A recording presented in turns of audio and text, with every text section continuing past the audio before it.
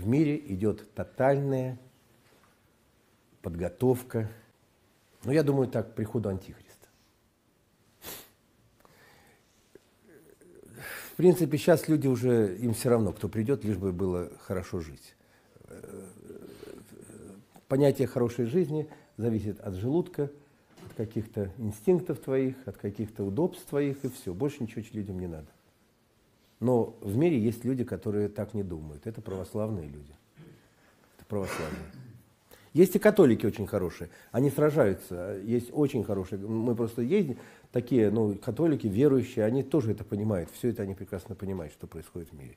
Если человек молится, если человек, понимаете, он понимает, что происходит в этом мире. Четко понимает. Потому что это, это, это невооруженный, это не может не видеть только человек, который в своей жизни живет без Бога. Вот и все. Вот и вся война.